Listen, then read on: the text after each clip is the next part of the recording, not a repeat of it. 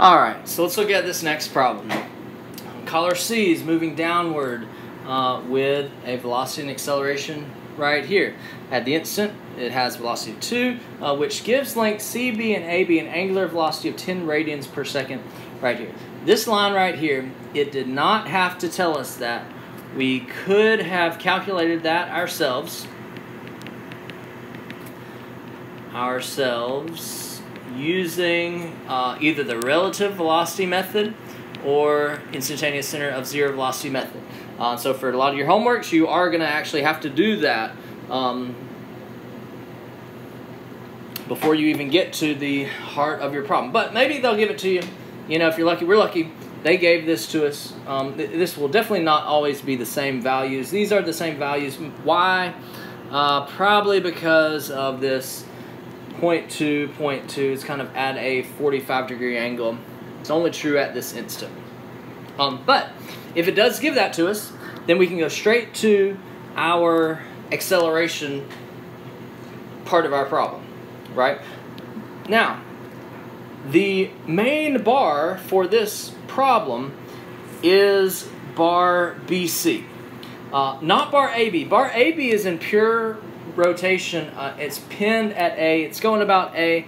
I can find some things about um, bar AB pretty easily, but bar BC is not pinned at about a fixed point. It's not in pure rotation. Uh, so that's our main bar. And so I'm going to use relative velocity to maybe jump from maybe C to B, right? Uh, and I like to put the point that I know the least about over here. I know everything about AC, so I'm going to say AB equals AC plus A B slash C and immediately rewrite this at, as, um, sorry, alpha cross R minus omega squared times R B slash C, BC, B slash C, BC. Okay, so if they hadn't given us this right here uh, as 10 squared, uh, then we would have had to calculate it. But they gave it to us so we can start from right here. Uh, we know R, we know omega, we know R. Uh, we don't know alpha. Generally, that's not going to be given. Generally, that's that's kind of what we're looking for. Uh, here we're looking for alpha of CB and alpha of AB. This right here is alpha of CB. Okay, everything inside of this term is for bar BC or CB. You know, that's it's the alpha of BC, it's the omega of BC, it's the R BC. Um, and so don't get it confused with the and, any angular information of a different bar. All right. Uh, point C. Do I know the acceleration of point C or do I know anything about the acceleration of point C? In this case, uh, we know it. It's 1. Uh, I like to remind myself uh, point C, it's just linear, right? It's just going down that rod right there. It's linear, so I don't need to overthink it. It's just, you know, negative 1 in the J. But point B, point B, do we know anything about the acceleration of point B?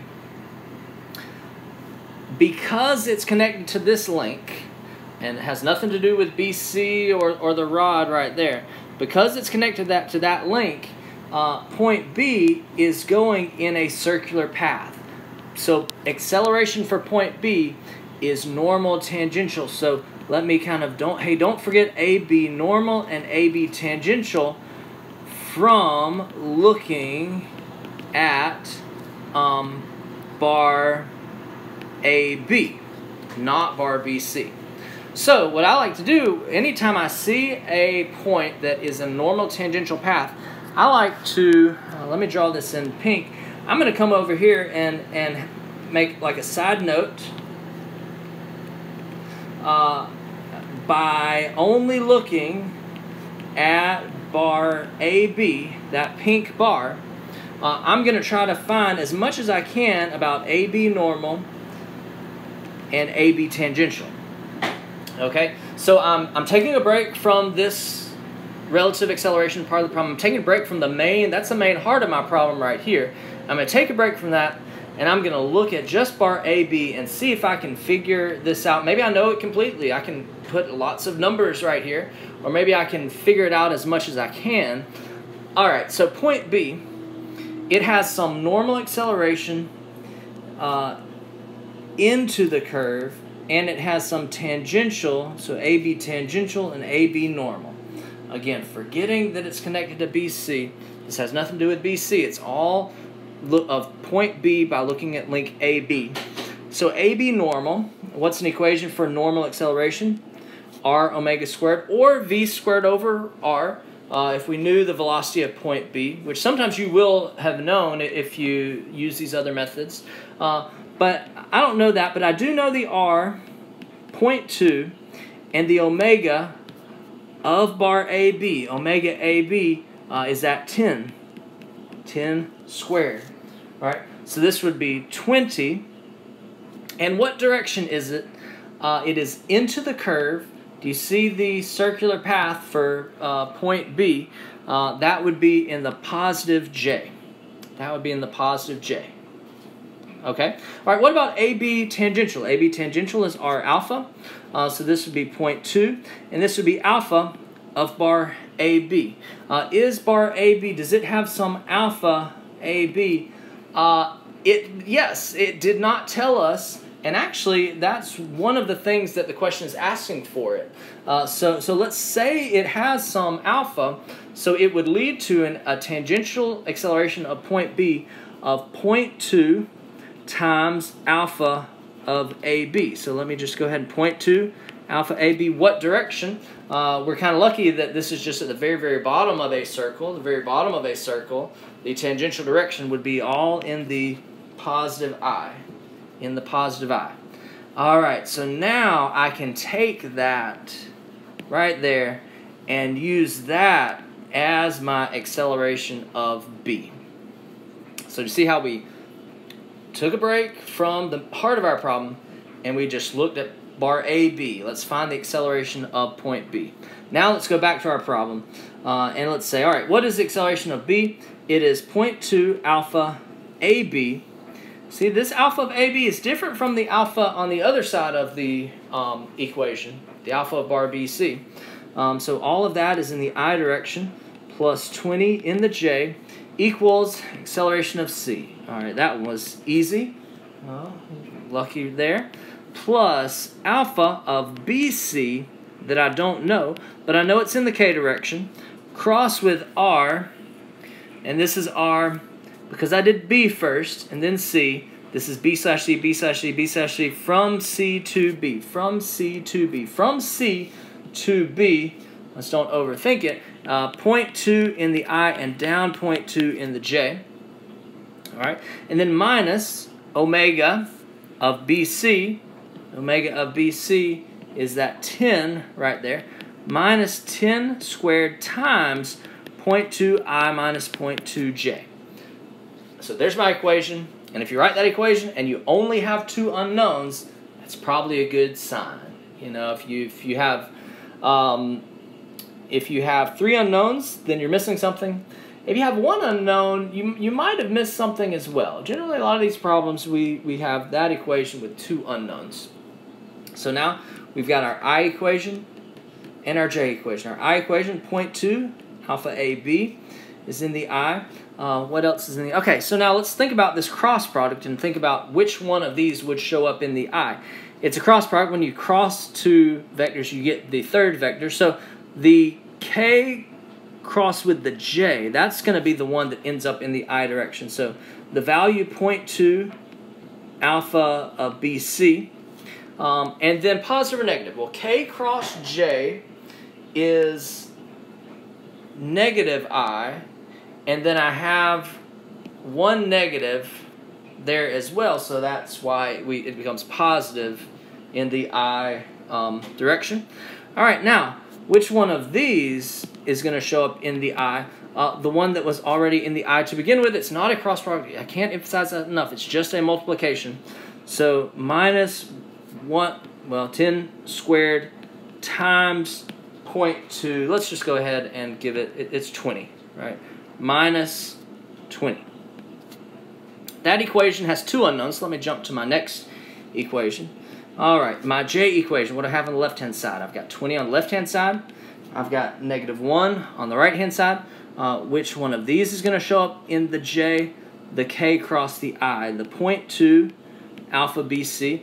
K cross I is positive J, and th there, there are no negatives. So positive J right there.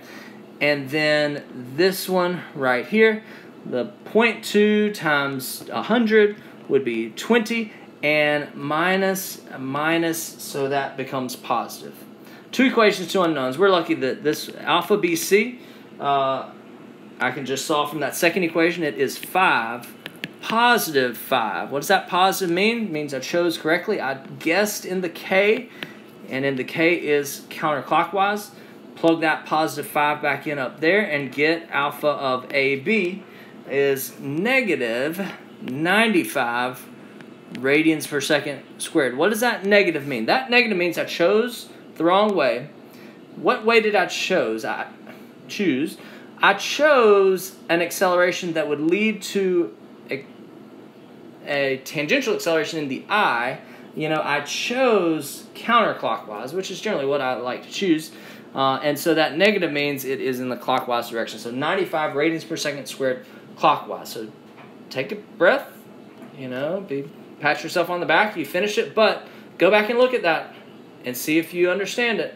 Um, the heart of my problem was this black bar BC. So I did AB equals AC plus AB slash C and AB slash C and immediately rewrite that as alpha cross R minus omega squared times R. If I hadn't already been given this 10 right here, I would have needed to use that uh, or needed to calculate that using relative velocity or instantaneous center method. But since I already gave it, they already gave it to us, I could go ahead and um, uh, start plugging things in. Uh, but I like to make a note of, hey, you, do I know anything about these two points? Do I know the direction of the acceleration? Do I see that it's in a circular path? So I saw that point B was in a circular path. Not due to this black bar BC, but due to this pink bar AB.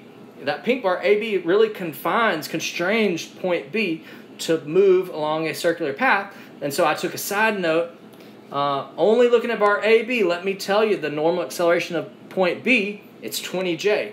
Let me tell you that the tangential acceleration of point B is 0.2 alpha of that bar, bar AB. Uh, and I was lucky that those were at the very bottom of a circle. It was just in the I and just in the J.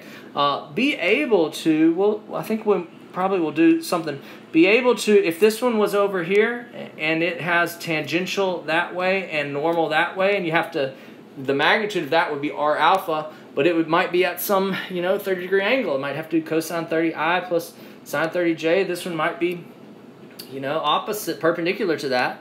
Uh, so we'll be able to break those normal tangentials into their correct uh, directions.